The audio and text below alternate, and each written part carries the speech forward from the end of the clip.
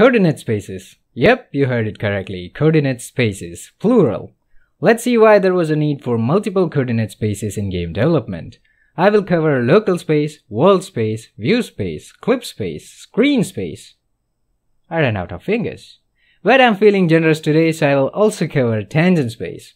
Alright, without any further ado, let the new game math theory episode commence. First let's understand what is a coordinate space.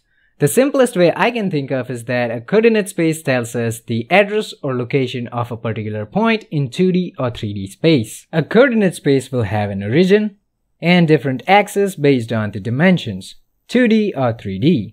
I will talk about 3D so it will have 3 axes, x, y and z. Then I have this point with the coordinates 2, 1, 3, which means the point is 2, 1 and 3 units away in x, y and z axis respectively from the origin 0, 0, 0. And now that you know what is a coordinate space, Let's talk about world space. Every game engine will have a shared coordinate space which has an origin at the center of the scene or game world and will have x, y and z axes pointing in three directions. This is called world space. Now keep in mind that the axis direction can be different based on different game engines. For example, Unity and Godot has y as up axis, while Unreal has z as up axis. Everything you put inside your scene will be relative to world's origin means it will be in world space. Simply put, world space is used to build up your level or scene. Then there is local space. Every mesh or geometry will have an origin or pivot and will have three local axes pointing in x, y and z direction. Now this pivot and axis can be defined by artists in any 3D software. They are local to object, hence it is called local space. Sometimes it is also called object space or model space. It is used to position each vertex of the geometry at appropriate location around the pivot and this local space is per object, meaning it can be different for different objects with or without the rotation. So let's say I have this cube, world space is used to place this pivot at this position, then these vertices are positioned around that pivot using local space.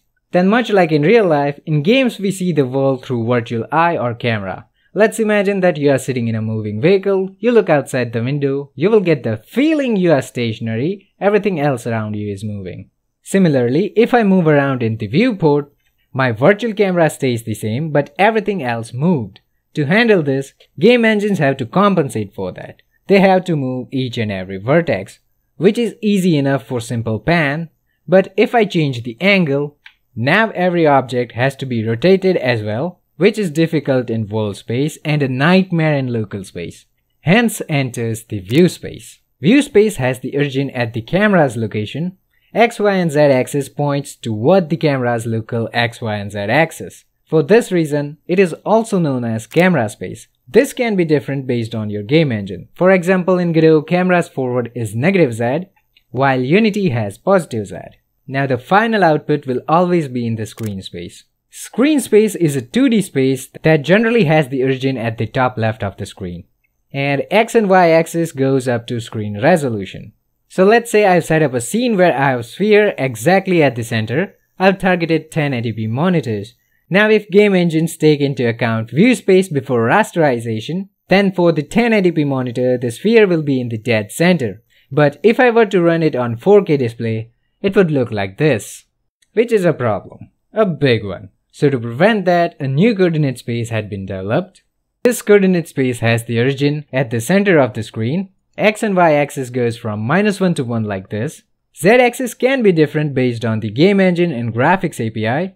For example, in OpenGL, Z axis goes from minus 1 to 1 from camera's near clip plane to far clip plane exponentially and any object which is outside these coordinates range will be clipped, hence it is called clip space. It is sometimes also called projection space because it takes into account camera's frustum.